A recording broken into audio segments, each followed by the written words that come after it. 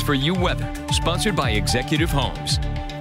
And if you have some travel plans for this holiday weekend, temperatures are going to be sizzling out there this weekend as we're going to have high temperatures in the 90s, overnight lows upper 60s and 70s. No mention of rain for the holiday weekend. You might have some trips to the lakes planned. It's looking great across about all of our lakes. Only lake a little bit below normal, Skiatook as well as Fort Gibson Lake about two feet below, nor below normal, but Keystone looking good, as well as Grand Lake and Tenkiller about a foot above normal.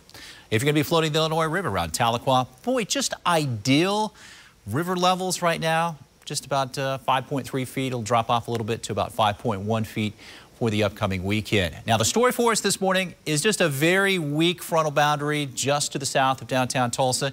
It's going to stall out right along I-40 a little bit later on today, but it could serve as a focus for a few showers.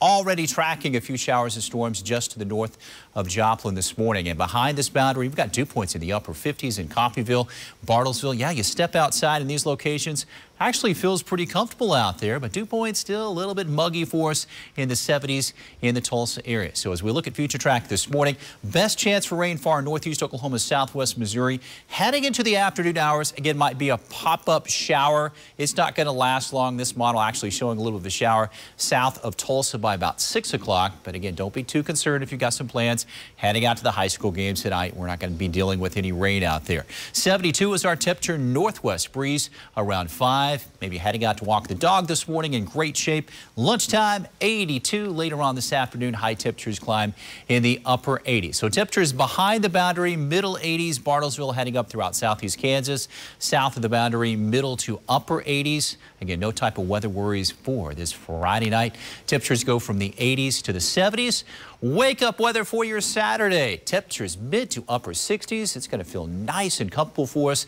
But tomorrow afternoon, 90s will be returning for us. Also feeling a little bit muggy as the heat index could be in the mid 90s. Sunday 91, 92 heading into our Monday, Labor Day. And then heading into next week, Tuesday, strong cold front moves in. We'll go in the, for the upper 80s and then temperatures will be dropping off heading into Tuesday night. When we wake up Wednesday, you better find that jacket or sweater. 50s, 60s for highs for Wednesday afternoon, upper 60s.